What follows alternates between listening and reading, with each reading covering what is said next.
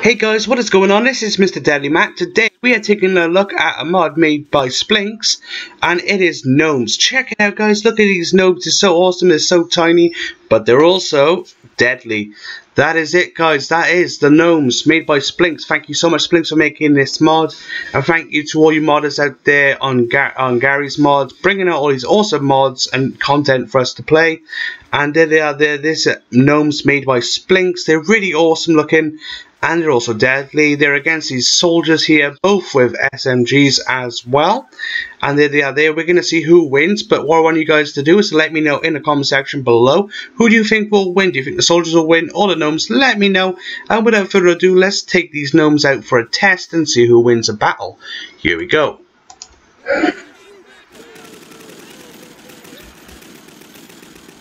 Alright, so they're both still fighting each other, they're on the move.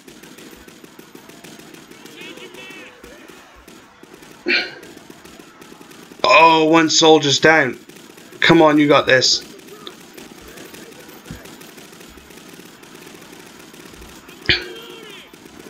Reloading's not a good idea, mate. Keeps you. Oh, he's down. Oh. We got a soldier inside.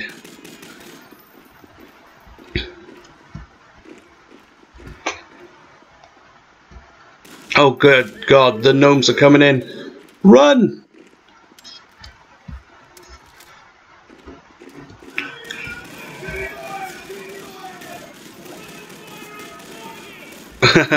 Mr. Twisty Flops playing Elder Scrolls, and as we can see, this soldier here is still on the go. Oh my goodness. Oh, the US soldier is down. Well, the gnomes kicked some butt. How many gnomes did we lose so far? Uh, there's one there. Let's see if there's any outside. There's one dead.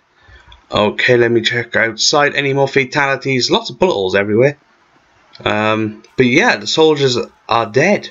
They got defeated. No, it's only one gnome we lost in our battle. The gnome, one gnome out of all them, plus the soldiers dead. I think the gnomes are really deadly. They're really awesome to have on your side.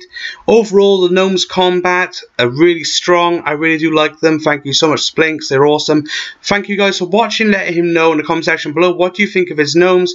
And without further ado, that's it for this video. This is Matt. Happy gaming. Peace.